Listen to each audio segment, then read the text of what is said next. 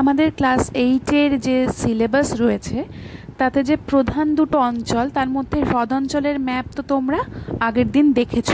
আজকে আমরা শিখে নেব কানাডিয়ান শিল্ড অঞ্চল কোথায় অবস্থিত এবং কানাডিয়ান শিল্ড অঞ্চলকে আমরা আলাদা করে কীভাবে এঁকে নিতে পারি। তো তার জন্য আমাদের কি করতে হবে? উত্তর আমেরিকার মানচিত্রটা বা আউটলাইন ম্যাপটা এঁকে নিতে হবে। যেমন দেখো, উপরে দেখতে পাচ্ছ, উপরের ম্যাপটা এটা তো তোমরা উত্তর আমেরিকার মানচিত্র আঁকার ভিডিও আগেই পেয়ে গেছো। তোমাদের সেখান দেয়া আছে কীভাবে তোমরা উত্তর আমেরিকার মানচিত্রটা আঁকবে।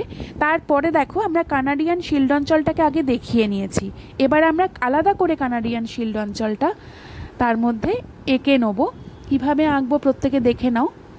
আমি একেবারে পেন দিয়ে করেছি, তোমরা প্রয়োজন অনুযায়ী আগে পেন্সিল দিয়ে করবে, তারপরে পেন ব্যবহার করবে। এবার আমরা আলাদা করে চলে আসি শিল্ড অঞ্চলটা কীভাবে আমরা এঁকে নেব, সেটা আমরা দেখে নিই। প্রত্যেকে তোমরা অবশ্যই বই খুলবে। বই খুলে আমাদের উত্তর আমেরিকার সিলেবাসের যেটুকু অঞ্চল কানাডিয়ান শিল্ডের রয়েছে, সেটা দেখবে আলাদা করে। এই মানচিত্রটাই আঁকা রয়েছে। তোমরাও কিন্তু সেটা দেখে দেখে ধরে ধরে যেভাবে আমি আঁকছি, সেভাবে এঁকে নেবে।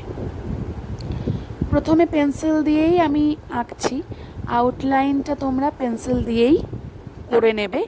তারপরে প্রয়োজন মতো আমরা কালো পেন দিয়ে সীমানাটাকে ডার্ক করে দেব।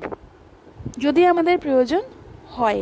আমি যে পেন্সিলটা ব্যবহার করছি, দেখো, সেটাও এমনিও খুব ডার্ক পেন্সিল মানে যে সীমানাটা হচ্ছে, সেটা যথেষ্ট কালো হচ্ছে।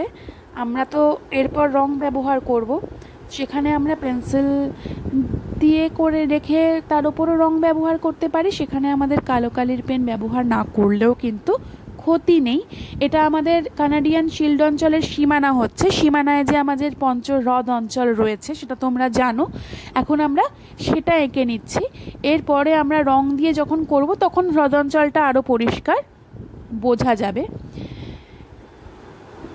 এখানে দেখো মাথায় যে বাফিন দ্বীপ রয়েছে, সেই দ্বীপটা আমরা এঁকে নিচ্ছি। এবং বাফিন সাগর, সেটা আমরা যখন আমাদের মানচিত্রটা শেষ হয়ে যাবে। আমরা নামটা লিখে দেব। যেমন আমরা কানাডিয়ান শিল্ড অঞ্চল নামটাও কিন্তু লিখে দেব। একে ভিক্টোরিয়া দ্বীপ আমরা এঁকে নিচ্ছি। যখন আমরা আলাদা করে উত্তর আমেরিকার মানচিত্র করি, আমরা তো দ্বীপগুলোর নাম এভাবে জানতে পারি না। কিন্তু যেহেতু কানাডিয়ান শিল্ড অঞ্চল এই দ্বীপগুলো রয়েছে, তাই জন্য আমরা এই দ্বীপগুলো আলাদা করে চিনে নিলাম। দেখো আমাদের মানচিত্র কিন্তু তৈরি। যদি তোমরা মনে করো তাহলে আউটলাইনটা কালো পেন দিয়েও করে নিতে পারো। যদি তোমাদের মনে না হয় করতে হবে না, কারণ দেখো আমি করিনি, তারপরেও কিন্তু দেখো রংটা বেশ পরিষ্কার হয়েছে এবং বুঝতে কোনো অসুবিধা হচ্ছে না। তো এখানে আমরা দেখে নিতে পারছি প্রত্যেকে ম্যাপে যে আমাদের কানাডিয়ান শিল্ড অঞ্চল, আমরা হলুদ দিয়ে বুঝিয়েছি। আমরা যেমন উত্তর আমেরিকার ম্যাপের মধ্যেও হলুদ দিয়ে যে অঞ্চলটা দেখিয়েছি, এখানে সেটাই বড় করে আমরা হলুদ রং দিয়ে কানাডিয়ান শিল্ড অঞ্চলটাকে বুঝিয়েছি। তো শিল্ড অঞ্চল কি তোমরা কিন্তু সবাই জানো। একদম প্রাচীন মালভূমির মধ্যে আমাদের শিল্ড অঞ্চলটা পড়ে।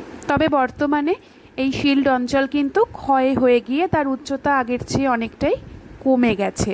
এবং দেখো, অনেকগুলো হ্রদ তোমরা দেখতে পাবে। তোমরা যেমন সীমানা, একদম দক্ষিণ সীমানায় পঞ্চহ্রদ তো রয়েইছে, তার সঙ্গে উত্তর পশ্চিম অঞ্চলে ঘেসে দেখো, গ্রেট বিয় গ্রেট স্লেভ, আথাবাস্কা হ্রদগুলোও কিন্তু রয়েছে, যেগুলো মূলত সৃষ্টি হয় হিমবাহের ক্ষয়কার্যের ফলে।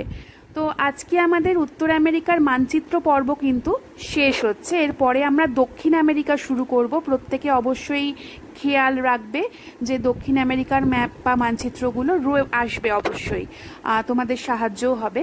আর যদি কারোর অন্য কিছু প্রয়োজন হয়, অবশ্যই আমায় জানাও। তাহলে আমি সেভাবে তোমাদের সাহায্য করার জন্য অন্যরকমভাবে একটু দেখানোর চেষ্টা করব। Best of luck